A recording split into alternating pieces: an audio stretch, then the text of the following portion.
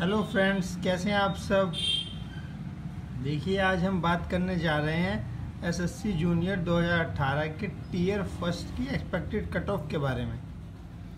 पहले हम जानेंगे कि प्रीवियस ईयर की क्या कट ऑफ़ थी प्रीवियस ईयर की क्या वैकेंसी थी, किसमें कितनी वैकेंसी थी, ये सब जानेंगे और फिर हम जानेंगे कि एक्सपेक्टेड कट ऑफ़ इस बार क्या रहेगी। देखिए फ्रेंड ये हमारे पास कुछ पिछले ईयर का डाटा है 2017 का। इसके अंदर जैसा कि आप सबको पता है कि वैकेंसी जो थी बहुत कम थी। सिर्फ़ 341 ही पोस्ट थी और इसके अंदर लगभग लगभग 10 लाख फॉर्म भरे गए थे। और जो पेपर देने के लिए कैंडिडेट गए थे वो लगभग लगभग छः लाख के करीब या फिर साढ़े पाँच लाख के करीब थे। अगर इसके अंदर इन्होंने अपनी पोस्ट का पंद्रह गुना लिया या बीस गुना लिया एक पोस्ट पर इनके जो फाइट कर रहे थे, वो थे सोलह हज़ार सात सौ पंद्रह कैंडिडेट थे। यानी कि कंपटीशन देखा जाए तो बहुत ज़्यादा बहुत ज़्यादा हाई था। और अगर ये अपनी पोस्ट का उस समय इन्होंने पंद्रह गुना लिया, हाल तो ऐसा किसी को पता नहीं कि कितना गुना लिया था, लेकिन मैंने एक अप्रोक्सीमेट डाटा अपने से बताया है, अपने नॉलेज से बताया है कि अगर पंद्रह गुना लिया होता तो साढ़े पाँच लाख में से लगभग लगभग पाँच हज़ार एक सौ पंद्रह बच्चे लिए गए होंगे और बीस गुना लिया होगा तो छः हज़ार आठ सौ अस्सी रुपये सॉरी रुपये नहीं छः हज़ार आठ सौ बीस कैंडिडेट लिए गए होंगे। अब इसके अंदर आप देख सकते हैं कि इतना कंपटीशन होने के बाद भी इसकी जो कट ऑफ़ थी वो पचास, पचपन या साठ ही गई थी। और लोग कह रहे हैं, आरआरबी में इतनी सारी वैकेंसी चौदह हज़ार के लगभग वैकेंसी होने के बाद भी कह रहे हैं कि इनकी जो कट ऑफ़ है वो हाई जाएगी। अब आप ही सोच के बताइए कि जब एसएससी जो कि इतना डिफ़िकल्ट पेपर होता है, इतना डिफ़िकल्ट उसमें कंपटीशन होता है, इतना ज़्यादा कंपटीशन होता है, वो तीन सौ इकतालीस पोस्ट के लिए जो कट ऑफ़ बना रहा है, वो मैं आपको दिखाता हूँ, फिर आपको समझ आएगा।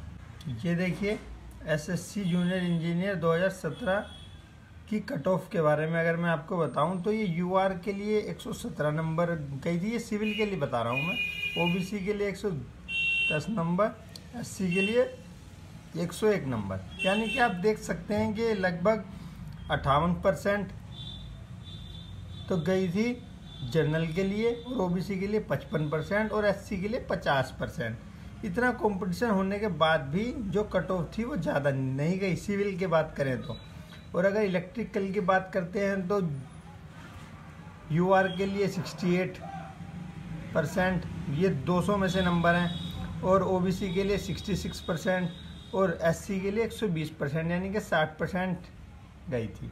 अगर सिविल वालों के लिए देखा जाए तो कट ऑफ़ 50 परसेंट ही थी। और इस बार की कट ऑफ़ मैं आपको आगे वीडियो में बताने वाला हूँ। वही अगर टीयर टू के बारे में देखा जाए जो 2017 में पेपर हुआ था, जो कंबाइंड नंबर ऐड होते हैं, जिसके टीयर फ़र्स्ट और टीयर सेकंड के जो 500 हो जाते हैं, उसमें सिविल की जो गई थी वो U R O B C और S C S T O H और एच एच की आप देख सकते हैं कि अड़तालीस परसेंट अड़तालीस परसेंट एस सी की चवालीस परसेंट। और अगर इलेक्ट्रिकल और मैकेनिकल की आप अगर देखते हैं इलेक्ट्रिकल और मकैनिकल की आप देखते हैं तो 60 परसेंट, उनसठ परसेंट और तिरपन परसेंट आपकी गई थी। दोनों की अगर मिला दी जाए तो। अगर हम सिर्फ़ बात करते हैं टायर टू की, जो 300 मार्क्स का होता है, उसके अंदर अगर सिविल, मैकेनिकल, इलेक्ट्रिकल दोनों की देखी जाए तो सिविल की 42 परसेंट यू के लिए 44 परसेंट ओ के लिए और उनतालीस परसेंट एस के लिए। मेनली तो ये तीन कैटेगरी होती है, बाकी आप देख सकते हैं।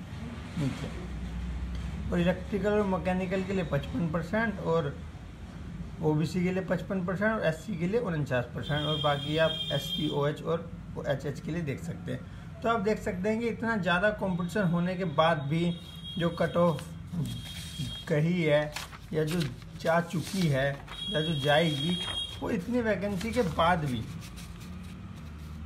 341 वैकेंसी के बाद भी इतने लोगों ने फॉर्म भरा था, करीबन दस लाख लोगों ने फॉर्म भरा था और देने लगभग छः लाख के या साढ़े पाँच लाख के करीब थे। उसमें भी जो कट ऑफ़ गई थी, वो सिर्फ़, अगर देखा जाए तो इतनी कुछ ज़्यादा नहीं गई थी।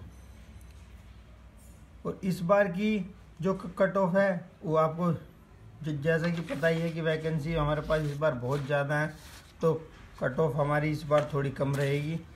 तो ये 2018 की मैं कट ऑफ़ आपको बताने जा रहा हूँ टीयर फ़र्स्ट की। इसके अंदर लगभग आप कितना भी फॉर्म भर लें, कितने भी भर लें, जो दो से ढाई लाख या तीन लाख बच्चे रहते हैं कंपटीशन उन्हीं के बीच रहता है। तो मैं आपको बताने जा रहा हूँ, इस बार वैकेंसी जो है, वो 601 है। और सिविल वैकेंसी हैं सबसे ज़्यादा, बारह सौ सत्तानवे बाकी इलेक्ट्रिकल मैकेनिकल की मिला के तीन सौ चार वैकेंसी हैं। इसके अंदर अगर हम देखा जाए तो जो कट ऑफ़ रहेगी category U R O B C S C S T civil और इलेक्ट्रिकल मैकेनिकल 105 तो रहेगी यू आर के लिए। और 105 मैक्सिमम रहेगी ओ बी सी के लिए और मिनिमम रहेगी पचानवे। और सिविल में एस सी के लिए पिचासी से पचानवे रहेगी और सिविल के लिए ही एसटी की 80 से 90 रहेगी। ये आपके रो मार्क्स हैं, इसके अंदर नॉर्मलाइजेशन का कोई ज़िक्र नहीं है। और इलेक्ट्रिकली में आप इलेक्ट्रिकल और मैकेनिकल में आप जैसे देख सकते हैं 110 से 120 100 से 110 पचानवे से 105 और 90 से 100 नॉर्मलाइजेशन का ज़्यादा फ़र्क नहीं पड़ेगा।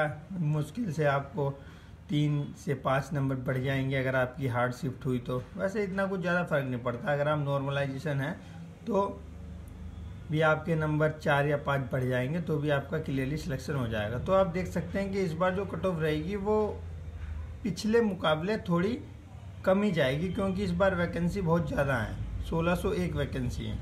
थैंक यू अगर आपको मेरी वीडियो लाइक लग लाइक लगती हैं, अच्छी लगती हैं, पसंद आती हैं तो आप मेरी वीडियो को लाइक करें सब्सक्राइब करें और शेयर करें। और आप अगर चाहते हैं कि मैं आपके लिए ऐसी और वीडियो लाऊं तो आप कृपया मेरे चैनल को सब्सक्राइब कर लें और बेल आइकन को दबा दें।